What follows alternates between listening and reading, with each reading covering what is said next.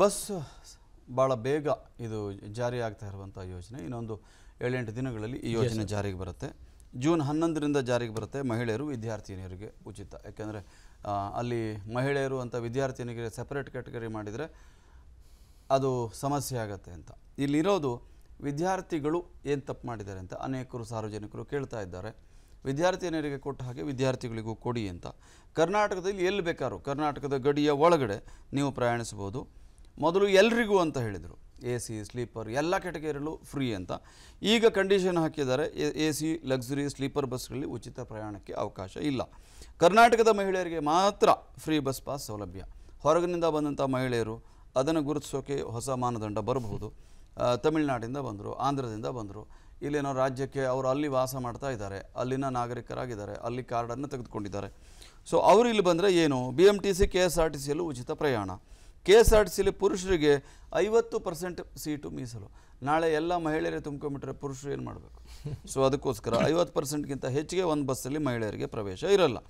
ತೃತೀಯ ಲಿಂಗಿಗಳಿಗೂ ಒಂದು ಸಮಸ್ಯೆ ಇತ್ತು ನಮಗೂ ಕೊಡ್ತಾರಾ ಇಲ್ವೋ ಅಂತ ಅವರಿಗೂ ಉಚಿತ ಪ್ರಯಾಣದ ಭಾಗ್ಯವನ್ನು ಕಲ್ಪಿಸಿದ್ದಾರೆ. ಇದರ ಪರಿಣಾಮ ಆಟೋ ಕ್ಯಾಬು ಮೆಟ್ರೋ ಮೆಟ್ರೋದಲ್ಲಿ ಹತ್ತು ಲಕ್ಷ ಪ್ರಯಾಣಿಕರನ್ನು ಸಾಗಾಟ ಮಾಡಬೇಕು ಅನ್ನುವಂಥ ಗುರಿ ಇತ್ತು. ಅದಕ್ಕೆ ಬಹುಶಃ ತೊಡಕಾಗಬಹುದು ಅಂತ ಅನಿಸುತ್ತೆ. ಉಚಿತವಾಗಿರೋದ್ರಿಂದ ಎಲ್ಲರೂ ಬಸ್ಸಿಗೆ ಪ್ರಿಫರೆನ್ಸನ್ನು ಕೊಡಬಹುದು ಅಂತ. ಫ್ರೀ ಬಸ್ನಿಂದ ನಷ್ಟದ ಪ್ರಮಾಣ, ಈಗಾಗಲೇ K S R T C ಎಲ್ಲ ನಿಗಮಗಳು, ಸಾರಿಗೆ ನಿಗಮಗಳು ನಷ್ಟದಲ್ಲಿದೆ. ನಾಲ್ಕರಿಂದ ನಾಲ್ಕೂವರೆ ಸಾವಿರ ಕೋಟಿ ರೂಪಾಯಿ ವಾರ್ಷಿಕ ನಷ್ಟದಲ್ಲಿದೆ. ಬಸ್ಸಿಗೆ ಪಂಕ್ಚರ್ ತೆಗೆಯೋದು ಹಾಕೋದಕ್ಕೂ ಕೂಡ ದುಡ್ಡಿಲ್ಲ ಅಂತ ಇತ್ತೀಚೆಗೆ ಸಾರಿಗೆ ನಿಗಮದ ಅಧಿಕಾರಿಗಳು ಸರ್ಕಾರಕ್ಕೆ ತಿಳಿಸಿದ್ರಂತೆ. ಆ ಎಲ್ಲ ಹಣವನ್ನು ಸರ್ಕಾರ ಭರಿಸಿದರೆ ಈ ಯೋಜನೆ ಜಾರಿಗೆ ಬರುತ್ತೆ. ಇದರಲ್ಲಿ ಒಂದು ಕಂಡೀಷನ್ ನಾವು ಸೇರಿಸ್ಬೋದು ನಷ್ಟದಲ್ಲಿರುವಂತಹ ಸರ್ಕಾರಿ ಸಾರಿಗೆ ನಿಗಮಗಳು ಬಸ್ಸನ್ನು ಬಿಡೋದಕ್ಕೆ ಸಾಧ್ಯ ಆದರೆ ನಿಮ್ಮ ರೂಟಲ್ಲಿ ಬಸ್ ಬಂದರೆ ನಿಮಗೆ ಪ್ರಯಾಣ ಉಚಿತ. And moreover sir student pass ಇದ್ದಾಗಲೇ ನಿಲ್ಲಿಸ್ತಿರ್ಲಿಲ್ಲ ಈಗ ಮಹಿಳೆಯರಷ್ಟೇ ಇನ್ನೊಂದು ಇನ್ನೊಂದು ಇನ್ನೊಂದು ಅಪಾಯ ಇದೆ ನೀವು ಹೇಳಿದಾಗ. ಎಸ್ ಸರ್ ಸ್ಟೂಡೆಂಟ್ ಬಸ್ ಪಾಸ್ಗಳನ್ನ ಕಡ್ಡಾಯವಾಗಿ ಇದು ಬಸ್ ಪಾಸ್ ನಿಲ್ಲುವಂಥ ತಾಣ ಬಸ್ ಪಾಸ್ ನಿಲ್ಲದೇ ಇರುವಂಥ ತಾಣ ಅಂತ ಇತ್ತು. ಮುಂದೆ ಮಹಿಳೆಯರಿಗೋಸ್ಕರ ನಿಲ್ಲುವಂತಹ ತಾಣ ಇಲ್ಲ ಅಂತ. ಮಹಿಳೆಯರು ಕಂಡ ತಕ್ಷಣ ಅವನು ಬಸ್ ನಿಲ್ಲಿಸಿ ಹೋಗ್ಬೋದು. ಯಾಕಪ್ಪ ಇದು ಒಣ ಉಸಾಬರಿ ಬರೀ ನಷ್ಟಕ್ಕೋಸ್ಕರ ಯಾಕೆ ಹತ್ಸ್ಕೊಂಡು ಹೋಗಬೇಕು ಈ ಮಹಿಳೆಯರನ್ನ ಅಂತ?